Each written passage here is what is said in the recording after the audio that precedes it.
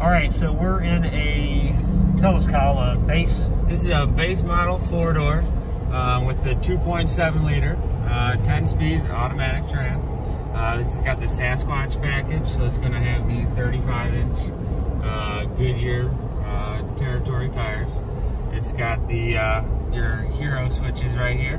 right here we have just your, your hazards, your traction control button.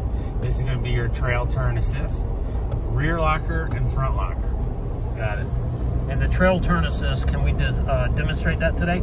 Uh, yeah, we're gonna okay. we're gonna see that uh, in action today. Awesome, because that is one of the coolest features that we have.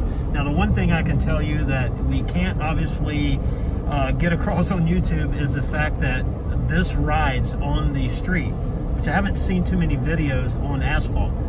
That this actually rides very good. And this uh, is Yep, and this is soft top so you can hear, and this audio is not the greatest in the world, but it's it's really, it's not loud at all. Um, it's very smooth, and I like the way it sits, right? We're just the right height.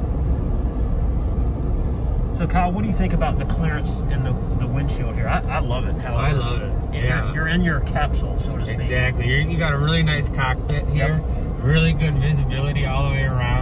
Um, you know, nice interior. I like the layout of everything. How you you got the touchscreen, but then I still like how you got your real knobs, like your volume knobs. I'm I kind of like having the actual touch or the volume knob. Uh, everything is kind of water resistant here, um, making it really nice. So when you take your top off, if you accidentally, you know, get a little water in there from the rain, it's not gonna not gonna hurt it too bad It's pretty wild when you're somewhere like this and you see a flatbed go by with three vintage Broncos on it. Right. They're I mean, all over the place. And the great thing about this is, you know, here we are in this new uh, reinvented sixth generation Bronco, which is just absolutely perfect. I, I love it. You know, I've I've really tried to be critical on it and say, okay, what would I change? And the only thing was that B&O bar, which has been changed. Mm-hmm. Yeah. And every, so, how many pieces are in it that make up this Bronco? it, it is truly a work of art, I think, and it's really hit the market. If you're an off-roader and you know you've you've typically have the one brand to go to, but now you now you have what a lot of people wish they would had from the factory that they've had to buy and upgrade and modify, and you have it already here, so it's very good. Yeah. So with my marine grade interior, other than the sound deadening and the hardtop, it's pretty much water waterproof.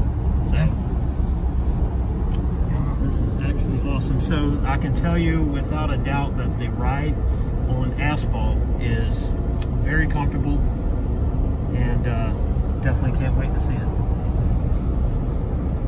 All right, please like and subscribe. Hit the bell icon so you get notified whenever we drop a new video and I will talk to you later.